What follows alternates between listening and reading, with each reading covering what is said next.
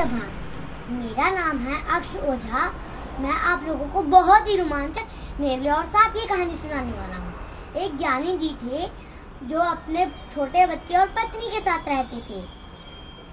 एक दिन ज्ञानी जी अपने खेत से लौट रहे थे। फिर उन्होंने एक नेवले का बच्चा देखा। वो उसे घर ले आए। फिर उन्होंने की पत्नी ने उस नेवले के बच्चे को अपने पुत्र समान पाला। फिर कुछ महीनों बाद वो नेवले का बच्चा बड़ा हो गया, पर ज्ञानी जी का बच्चा तब भी छोटा था। फिर कुछ दिनों बाद ज्ञानी जी काम पे गए और उनकी पत्नी ने उस छोटे बच्चे को पालने में डाल दिया और एक पानी का लोटा लेने चली गई। और फिर उसने लेवरे को कहा कि वो बच्चे का ध्यान रखे।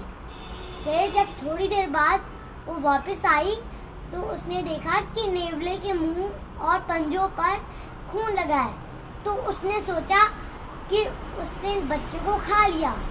फिर वो मटका ले कर उसके सर पे फोड़ दिया और डंडे से उसे मार दिया।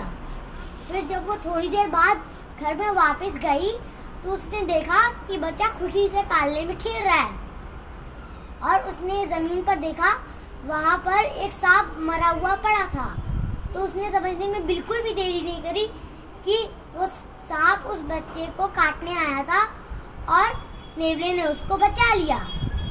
हमें इससे यही सीख मिलती है कि हमें बिना सोचे समझे जल्दीबाजी में कुछ भी नहीं करना चाहिए वरना पुणे हमेशा बुरा ही होता है।